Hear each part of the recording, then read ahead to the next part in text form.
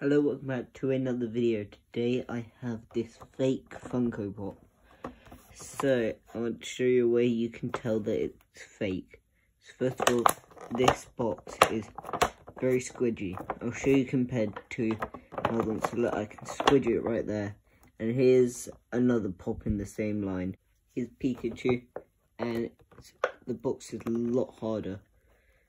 Okay, and you can also see pop says pop games are uh, if you look closely you can see how much blurry this the Kratos one is compared to the Pikachu. It's a lot more blurry. Because someone just took a picture of it. As you can see. That one and then this one's a lot more blurry. Yeah. So, just the box is an easy way to tell. Um, so, here as well, this sticker, it should be shiny. But as you see, it's not.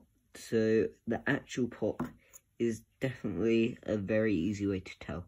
Now, here's the two pops. So, we got this one, and look, his head comes straight off.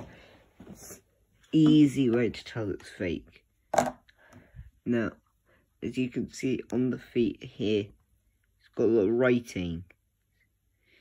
So, if you look on this, these feet, it says only, I can't even read it, but it says the same things, uh, okay, seems like it does anyway.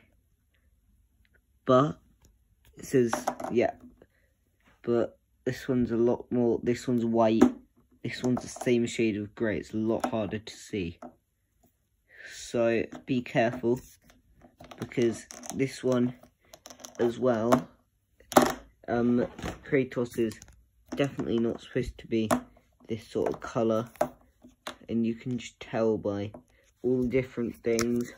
If you just look at the box art, you can see how brown the axe is supposed to be and then it's light brown there. So be careful.